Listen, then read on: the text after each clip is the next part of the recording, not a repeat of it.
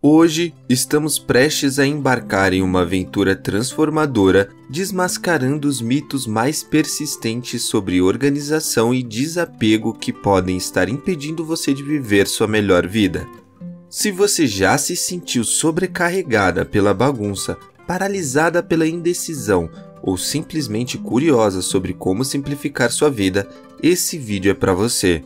Prepare-se para desafiar crenças antigas e descobrir verdades surpreendentes que irão liberar seu potencial para criar um espaço que não apenas respire tranquilidade, mas que também reflita a essência de quem você realmente é.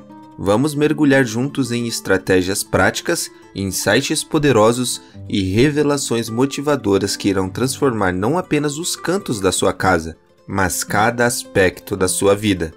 Ao longo desse vídeo, Vamos desvendar as mentiras que nos mantêm presos à desordem e descobrir a liberdade que vem com o desapego consciente. Desde desfazer-se de itens que não servem mais, até adotar hábitos que promovem uma vida mais organizada e intencional, e estou aqui para guiá-lo nessa jornada de autoconhecimento e transformação. Então, se você está pronta para dar o primeiro passo rumo a uma vida mais organizada, menos estressante e infinitamente mais gratificante, fique comigo até o final desse vídeo, porque o que você vai aprender hoje pode não apenas mudar sua casa, mas também mudar sua vida. Vamos começar. Primeira mentira: isso é útil, então eu deveria guardá-lo. Essa crença nos leva a acumular itens desnecessários em casa, acreditando que, por serem úteis, devem ser guardados mesmo que não os utilizemos. A verdade é que, independente da utilidade de um item, se ele não é usado, não tem valor prático em sua vida. Desapegue do que você não usa, doe ou passe adiante. Segunda mentira: preciso comprar algo a mais para me organizar. Muitas vezes, olhamos para a bagunça e achamos que a solução é comprar mais itens de organização. No entanto, se você tem muitos objetos, nenhum sistema de organização será suficiente. Antes de comprar mais produtos organizacionais, é essencial reduzir a quantidade de itens que você possui. Com um inventário mais enxuto, você poderá então adquirir o necessário para se organizar adequadamente. Terceira mentira: desapegar leva muito tempo. Muitas pessoas acreditam que o desapego exige sessões longas e cansativas. Contudo, pequenas ações regulares de desapego podem ser igualmente eficazes. Dedique, por exemplo, 15 minutos para organizar uma gaveta por vez. Esse método gradual é uma maneira eficiente de manter sua casa livre de bagunça. Outra dica valiosa é desapegar conforme você encontra itens desnecessários. Por exemplo, ao substituir uma garrafa vazia de primer de maquiagem, aproveite o momento para descartá-la imediatamente na reciclagem. Isso evita o acúmulo de pequenas tarefas de desapego. Além disso, criar uma zona de despejo específica para itens descartáveis, como um balde em seu escritório, pode ser incrivelmente útil. Quando encontrar algo que não precisa mais, coloque-o no balde. Assim, quando tiver tempo, você pode organizar e descartar esses itens de maneira eficiente. Quarta mentira: eu tenho espaço suficiente. Ao invés de manter itens apenas porque há espaço disponível, concentre-se em reter apenas o que realmente ama, usa e necessita. Esse processo não apenas libera espaço físico, mas também traz uma sensação de paz e clareza mental. Quinta mentira: Existe um jeito certo e um jeito errado de desapegar. E eu mesmo fui confundido por essa ideia inicialmente, especialmente ao adotar o método Kono-Marie. Focar demais em seguir um método à risca pode levar à paralisia por análise. O importante é encontrar um método que funcione para você e tomar ação, lembrando que a busca pela perfeição pode impedir o processo. Sexta mentira: eu tenho que tirar tudo de uma vez.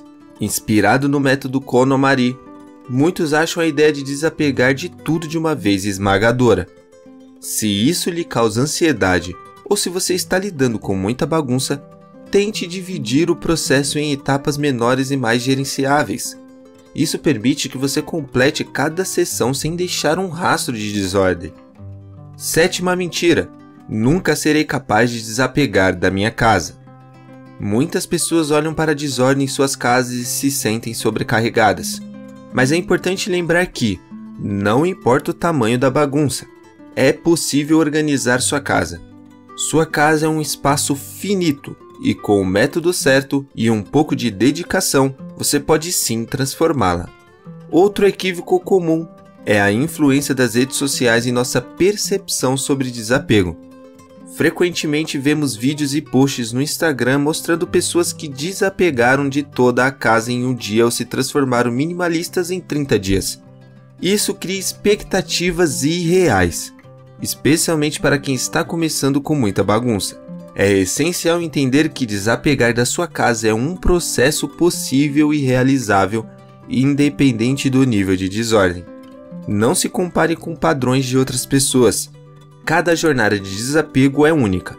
Ao mesmo tempo, pensar que sua casa estará sempre impecável é tão irreal quanto acreditar que você nunca conseguirá organizar-se. Nona mentira: precisa esperar pela motivação para começar a organizar. Esperar pela motivação pode levar a um ciclo interminável de procrastinação. Em vez disso, crie estratégias para se automotivar como ouvir seu podcast favorito enquanto organiza, ouvir aqui este canal que vos fala, ou estabelecer um horário fixo para a organização diária em sua agenda. Isso ajuda a manter o progresso, mesmo quando a motivação parece escassa.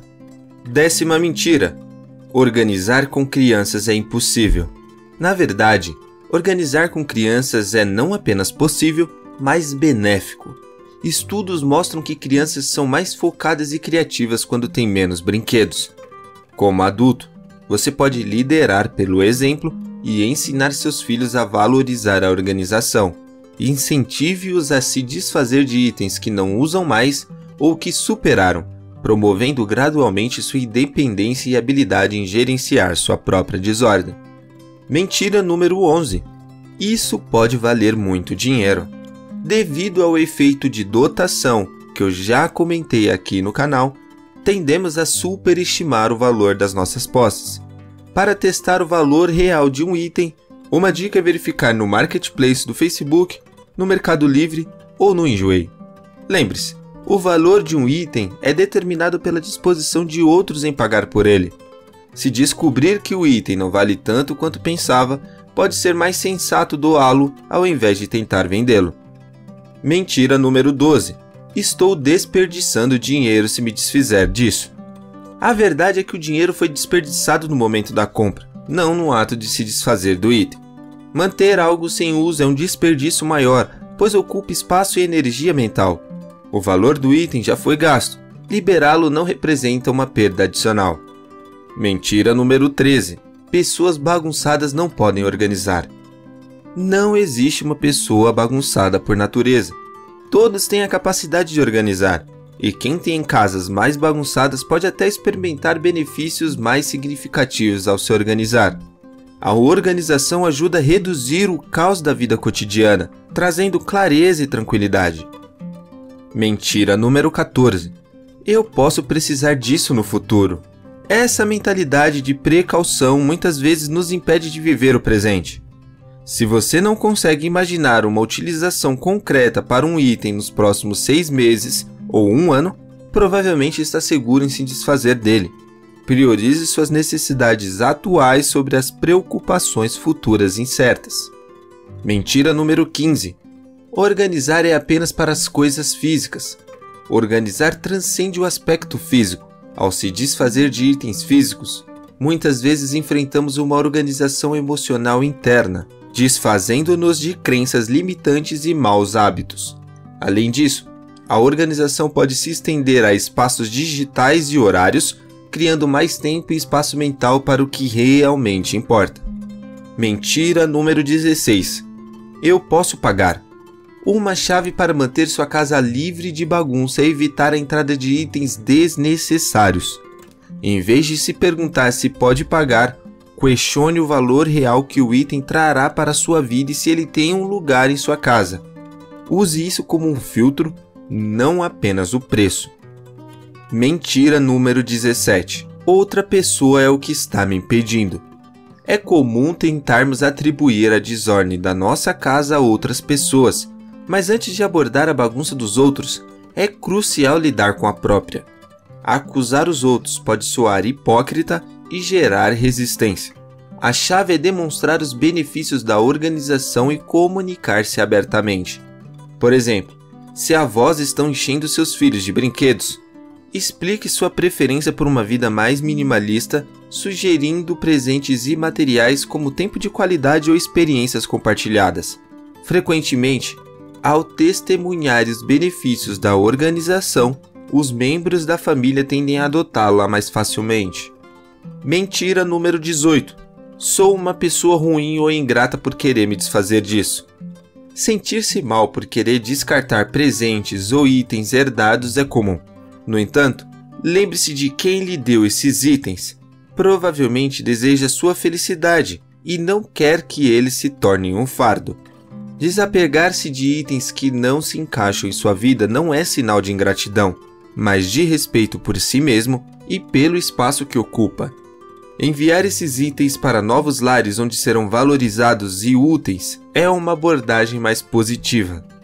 Mentira número 19. Organizar é ruim para o meio ambiente. A verdadeira questão ambiental é o consumismo excessivo e não a organização em si. Organizar de maneira sustentável significa vender, doar ou reciclar itens em vez de simplesmente descartá-los. Encontrar maneiras responsáveis de desapegar pode ajudar tanto o meio ambiente quanto sua casa. E mentira número 20. Eu tenho que me tornar um minimalista. Organizar sua casa não implica necessariamente em adotar um estilo de vida minimalista.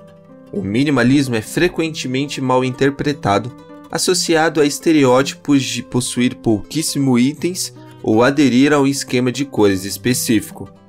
O objetivo da organização é criar um espaço que reflita suas necessidades e preferências, independentemente de se alinhar ou não com os princípios do minimalismo. À medida que encerramos nossa jornada desmascarando mitos sobre organização e o desapego, lembre-se: o poder de transformar sua casa e sua vida está em suas mãos. Não se deixe paralisar pela busca da perfeição. O progresso é feito um item de cada vez. Organizar não é apenas arrumar espaços, é liberar a mente. Quando você limpa sua casa, você também limpa sua vida, abrindo espaço não apenas em suas prateleiras, mas em seu coração. Você está construindo não apenas uma casa, mas um refúgio para a alma. Vamos juntos, passo a passo, criar espaço que nos inspirem, que nos libertem, que nos permitam viver a vida que merecemos. Transforme sua casa transforme sua vida, porque no final das contas, o verdadeiro luxo não está nas coisas que possuímos, mas no espaço que criamos para viver, amar e sonhar. Assista agora esse vídeo que apareceu na sua tela que fala sobre os 5 perigos de não se desfazer do acúmulo. Você vai gostar. Um abraço para você e até o próximo vídeo.